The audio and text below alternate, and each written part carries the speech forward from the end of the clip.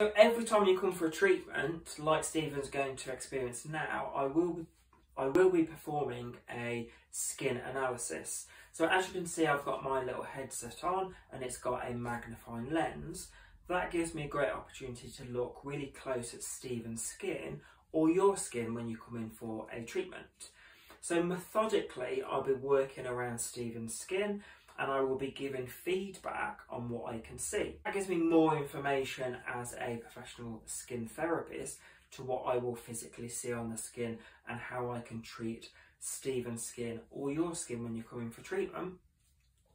But it also gives you as a client lots of information on what is happening on your skin, but all over your skin. Brilliant, so I'm just going to pop my magnifying lenses down and start to work over Stephen's skin. So Stephen's main skin concern is aging. So across the forehead there, we can see that we've got some expression lines.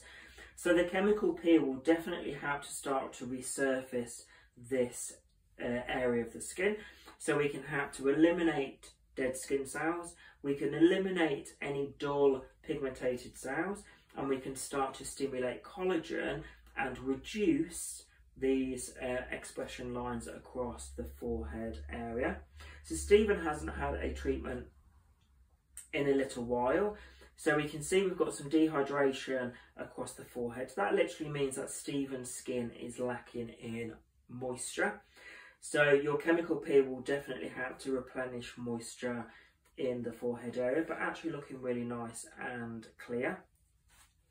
So moving on to the ears, we can see, or I can see that we've got some pigmentation on the ears. So that's dark pigmentated cells.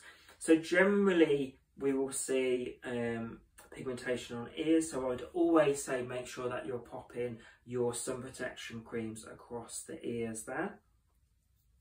Moving along the cheek area, we can see we've got some redness across the cheeks. Generally, I would see that by after applying that solution that I've applied to Stephen's skin. But I can also see that we've got some compromised areas here. So it could be due to lockdown, the skin has become a little bit more dehydrated and sensitized. So we can really have to reinforce the area. Nice and clear across the nose there.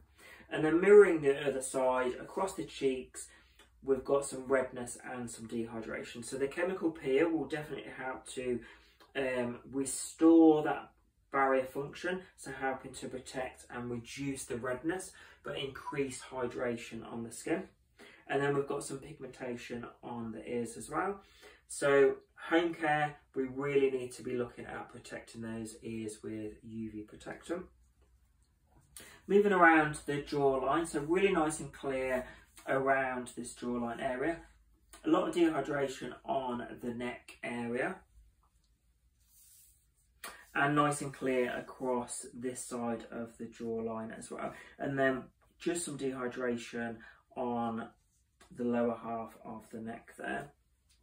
So all in all, not had a treatment in a while, potentially some stressed lockdown skin.